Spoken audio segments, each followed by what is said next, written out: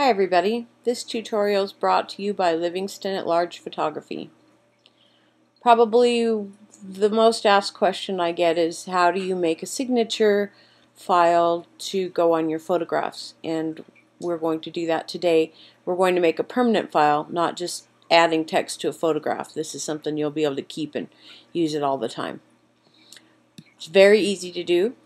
We start with a new file, so File, New, blank file.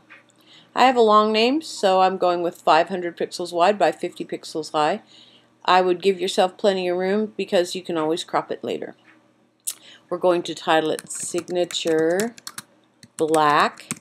And the reason we're doing that, and we'll probably even spell it right, is that uh, we're going to make a black one and a white one. So if you have a photograph with a light background, you'll have a signature. If you have a photograph with a black background, you'll have a signature.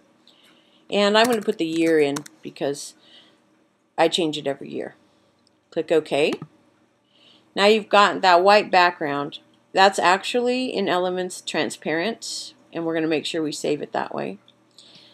Pick yourself a font. I like Papyrus. I've got a good size in here, 24 point, and my color is black.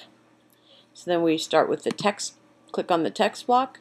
Click in the box. And if you want a copyright symbol, on a Mac, it is Alt G. On a PC, it is uh, Control Alt C.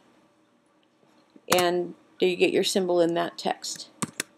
Add your name or whatever you want to be putting on your photographs.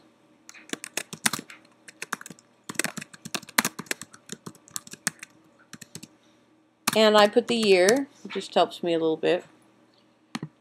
Now, I click out of the box. I've got it in there. I'm going to crop it down to what I, something that I like, and I can work within a photograph.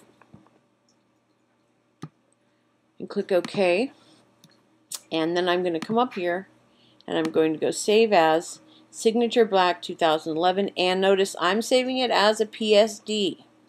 If you save it as a JPEG, then the background will be white, and you'll have a big white block on your photograph and you won't want that. So click Save. Now, I'm going to go ahead and make this uh, a white one and save it at the same time. So I'm going to come over here and click in the text box to bring the, the uh, wording back up again. I'm going to come up to the color box, drop it down, pick white, click on the green box OK.